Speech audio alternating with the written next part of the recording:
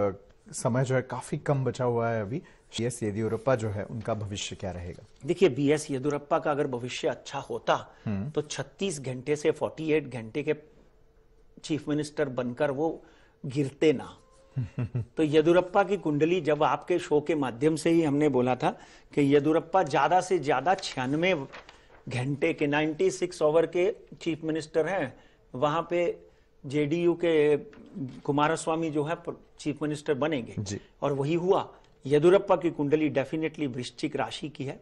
इस वक्त उनकी अगर कुंडली का अध्ययन करें तो चंद्रमा की महादशा चल रही है। चंद्रमा वृश्चिक राशि का मैं पहले ही कहते आया हूँ नीच होता है।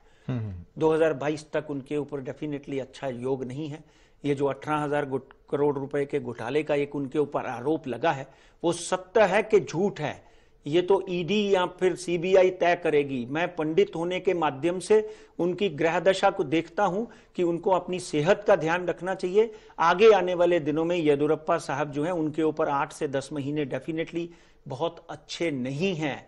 उनको क्योंकि गुरु जो हैं, वो केंद्र में बैठा हुआ है, उनको अपने पेट का और कहीं ना कहीं अपने डाइजेशन सिस्टम का larger intestine smaller intestine liver का पूरा पूरा ध्यान रखना चाहिए।